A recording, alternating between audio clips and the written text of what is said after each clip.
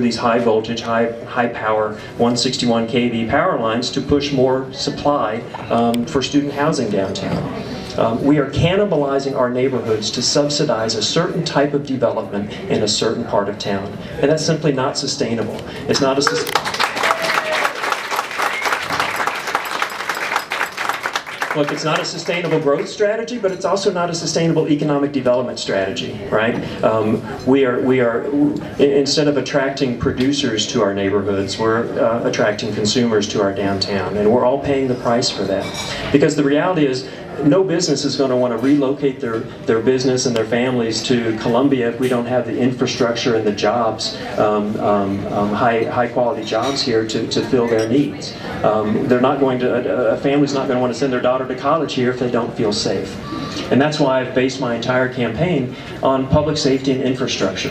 You know, if we're going to be one of the fastest growing cities in the, in the Midwest, and, and look, we're on track to double. You heard Betty, Betty Wilson's recollection of our population um, 55 years ago. Um, Nick Peckham is here and is on our, our infrastructure task force um, with the DLC. Our population could double in the next 30 years. And if we're going to be one of the fastest growing cities in the Midwest, we need a blueprint. And as mayor, I want to use that blueprint to build upon what's great about our city by investing in our neighborhoods and infrastructure, more community policing to better serve our neighborhoods, and, and I'll work to ensure an honest and transparent and effective city government. But I can't do it by myself.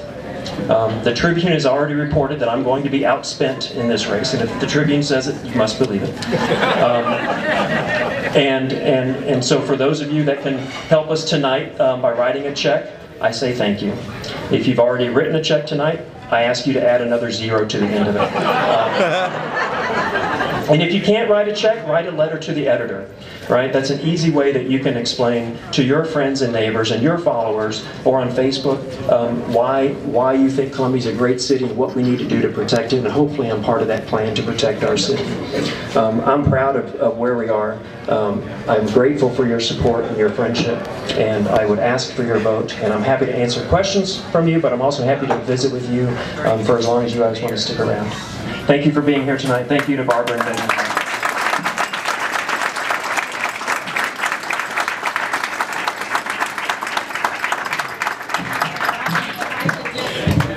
Put another plug in. It is, um, it takes money just to run for a ward, quite a bit, and to run for mayor, it's really um, expensive. So uh, please reach into your pockets and uh, donate to Brian so he can at least um, reach the public the way they need to be reached. It's very important to me and to the community and to you.